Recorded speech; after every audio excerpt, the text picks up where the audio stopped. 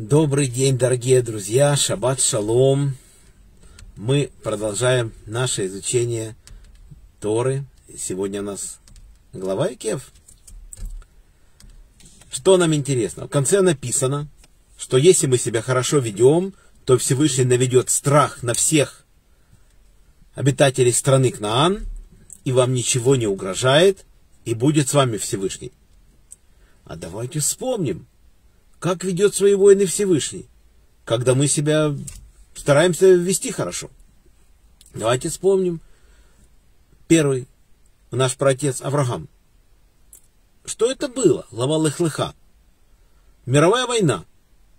Написано, что четыре вавилонских царя нападают на одиннадцать царств.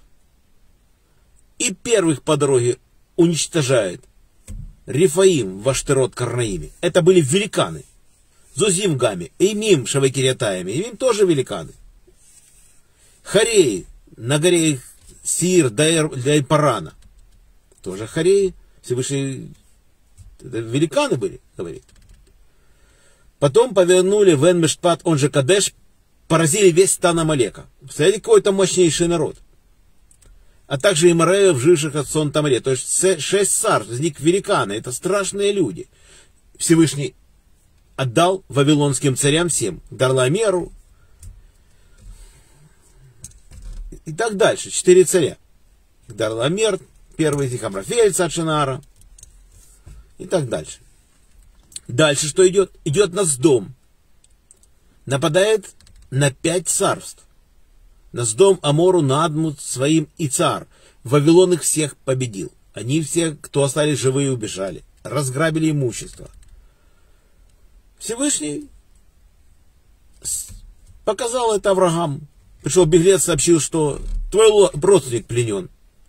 Авраам не боится. Пишется, что он берет своих воспитанников, домочадцев, 318 человек, и бросился на них в рассыпную. Наши мудрецы говорят, что он вообще сел с ними учить Тору, а Всевышний отправил Ога, великан. И он, Входящий. и он напал. Ог нападает, перебил их всех.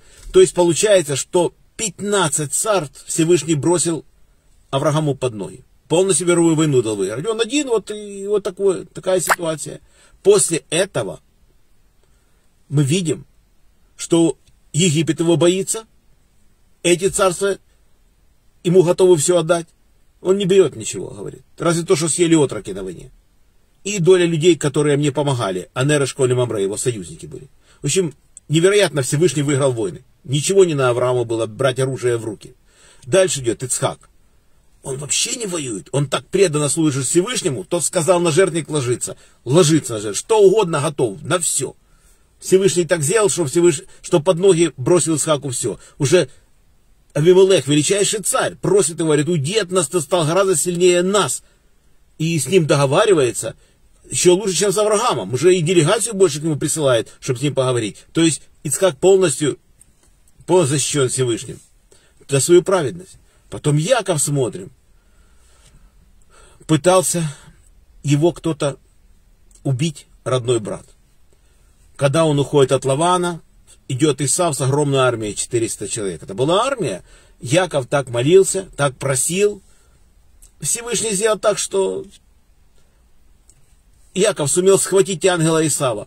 Он его придержал, ангел его благословляет, естественно, война выиграна. Когда ангел Исава благословляет Якова, Самаэль его зовут, пишут наши мудрецы. Война выиграна, воевать не надо. Дальше.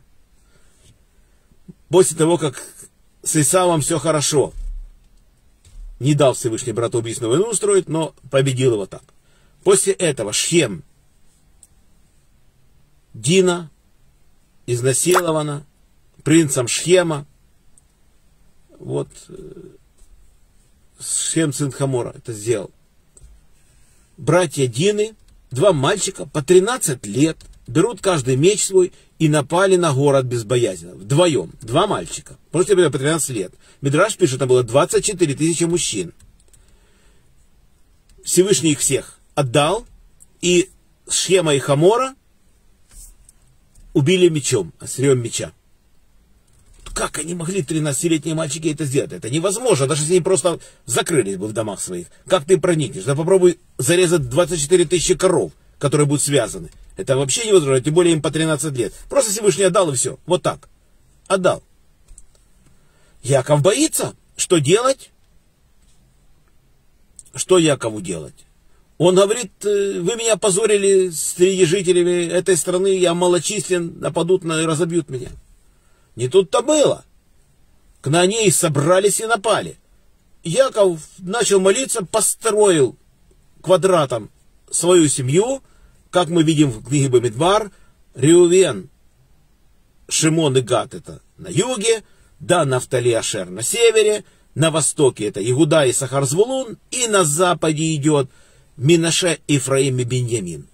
Все, этот квадрат, когда они увидели, Всевышний страх навел, писано, был страх великий, и никто не смелился напасть на Якова. Дальше идет.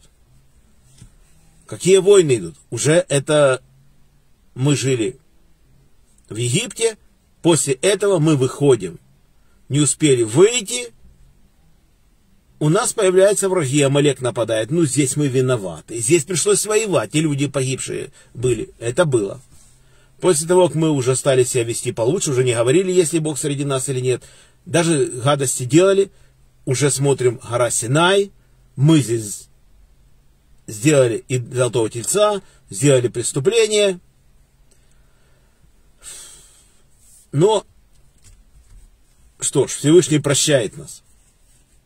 После этого мы выходим оттуда и там пришли места, где мы там мясо требовали, здесь войны не было, но мы страдали от мора, но потом мы идем в разведку. Идем мы в разведку, и разведчики сказали злую молву за страну, которую вы смотрели, что получилось дальше. Всевышний сказал, вы будете здесь жить 40 лет в пустыню, пока последние воины не умрут из среды стана. Мы говорим, нет, мы все равно, ты наш папа, пойдем воевать. Всевышний говорит, никто не пойдет. Маша говорит, не идите, Всевышний с вами не пойдет, вы потерпите поражение. Что значит пойти воевать на эту страну? Это не просто вам один Малек на полы вас перебил, а тут вы идете против Амалека, против двух амарейских царей, против Лота, которого захватил Сихон, против 31 кнанейского царя, можете представить. Исав представил Амалеком, Мав это Лот, амарейские цари и кнанейские цари. То есть мировая война опять. И что? Мы идем на войну. Пишется в книге Дворим. И напали вас эмореи, и били вас, как делают пчелы, громились до хормы, и пришли вы и плакали. О, как делают пчелы. Тут же Раша приводит комментарий. Пчела, как только кусает, она сразу погибает. Это ж не шершеньки, а Всевышний говорит, я навезу на ваших врагов шершни, которая страшная оса. Нет, пчела. И действительно, они тут же погибали. Мы вернулись и плакали. И эта война была фактически война Всевышнего. Мы вернулись, всего сказал Всевышний, будете все равно жить 40 лет в пустыне, но вас не отдам, как папа не отдал детей. Мы такие смелые, вроде неверующие, но поняли, что Всевышний защитит. Дальше что идет? Дальше идет у нас какая война? Дальше у нас идет война между собой. Это уже 40-й год, Агарон умирает. Здесь мы воевали с друг с другом, перебили друг друга. Было такое, мы уже много раз об этом говорили братоубийственная война в Хацероте. Потом Всевышний отдает нам после этого Сихона, без единой потери великанов, разгромили. Так видят войны Всевышний. Напали без единой потери, перебили великанов. Потом Ога отдает великана, перебили без единой потери всех, ничего, все целые, все живые, здоровые вернулись. Медиан разгромили, перебили всех медианитян, Всевышний дал нам награду. Вот так ведет войны Всевышний. Вот так мы вроде не заслуживаем, но он нам все дает. И если мы его слушаемся, то он нам все под ноги бросает. Только себя веди хорошо. Единственное, когда мы начинаем просто перегинать палку, вести себя как мы хотим, естественно, получается как бы по нашей вине все это, что мы творим. Вот давайте учиться истории, как себя хорошо вести, чтобы мы не попадали в такие ситуации и чтобы у нас было все хорошо. Все, всем шаббат шалом. Всем браха, парноса, кавана. Списка у меня с собой нет. За всех этих людей мы молимся. Чтобы все были здоровы, счастливы. Чтобы у всех было только прибавление в Торе, в заповедях. Всем крепчайшего здоровья. Делитесь видео с друзьями. До следующих встреч. Надеюсь, нас состоится Йом решен 15.30. До встречи. Шалом. Шаббат шалом.